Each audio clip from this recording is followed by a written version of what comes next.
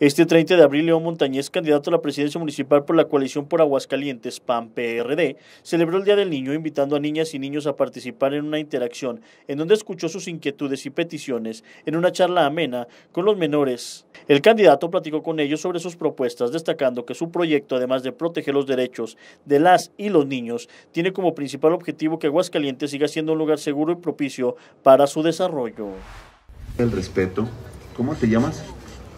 Gerardo, vamos a promover el valor del respeto, Gerardo, y aparte de que como vamos a generar más espacios deportivos, el deporte no solamente nos mantiene más sanos, sino que también nos inculca valores como el respeto, la responsabilidad, el trabajo en equipo, la puntualidad. Entonces son disciplinas que nos servirán mejor para todos.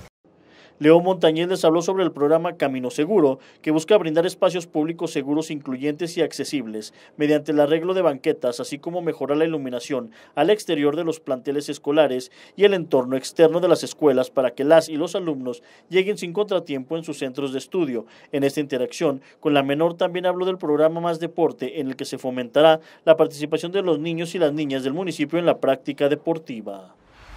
Que haya zonas seguras que si hay algún lote baldío, que si hay alguna zona oscura, vamos a trabajar con este proyecto que se llama Camino Seguro a tu casa, para que cuando ustedes crucen por ahí, pues crucen tranquilos, que tengan calles iluminadas y de esta manera, pues que todos vivamos mucho mejor. Con imágenes de Jacobo Flores para Quiero Noticias, Adrián Martínez.